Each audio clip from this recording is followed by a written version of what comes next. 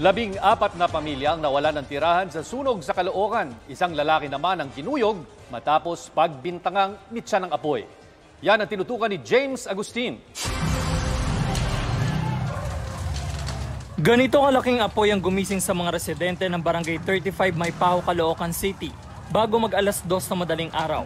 Mabilis itong kumalat sa magkakadikit na bahay na gawa sa light materials.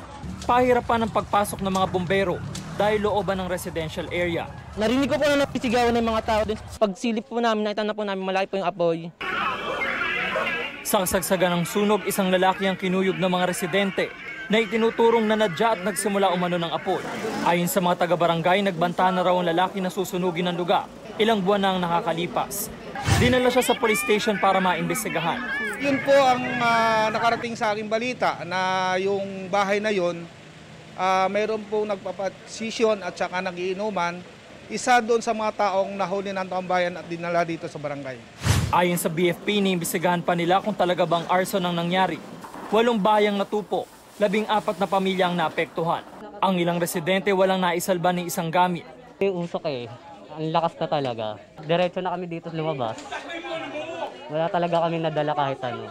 Umabot sa unang alarma ang sunog na napula pasado alas 4 na madaling araw. James Agustin, Nakatuto, 24 Oras. Hindi natutulog ang mga balita. Kaya para sa pinakasariwang balita, mag-subscribe kayo sa aming YouTube channel.